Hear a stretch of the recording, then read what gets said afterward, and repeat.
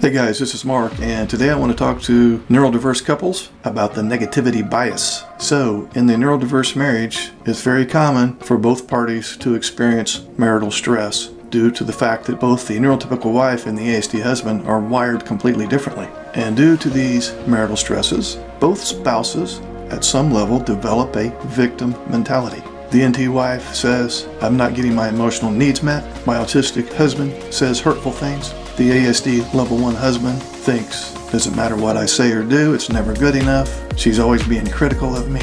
And so now both parties scan for bad news because both parties feel like they're a victim. And when you scan for bad news, you will quickly find it. And when you find it, you will tend to over focus on it and exaggerate it and catastrophize about it. And when you over focus on it, then you'll tend to overreact to these marital stresses anger, rage, meltdown, shutdown, adult temper tantrums, and so on.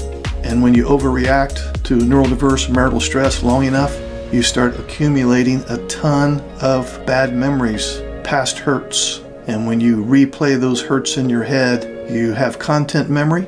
In other words, you remember what was said and done, but when you replay those old memories, you also replay the negative emotions that you felt at that time. And all of this sensitizes the brain to negativity.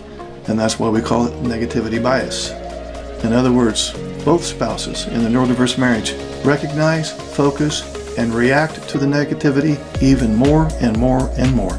Trust then gets broken, the bond gets severed, and both parties become very resentful, and both parties feel very unsafe. At this point, any kind of positive things that either spouse is doing can't be seen.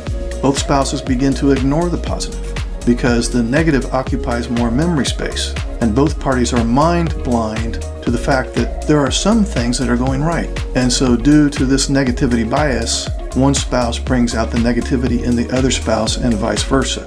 Now you get this synergy going on where 1 plus 1 does not equal 2 of a level hurt, it equals level 5. All of which reinforces the need to scan for even more bad news, expecting more hurtful things to be said and done, and the cycle starts all over again.